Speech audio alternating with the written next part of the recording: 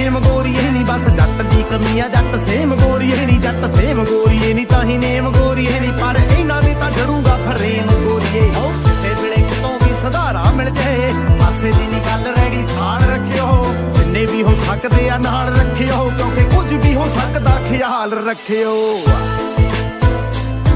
ਯੋ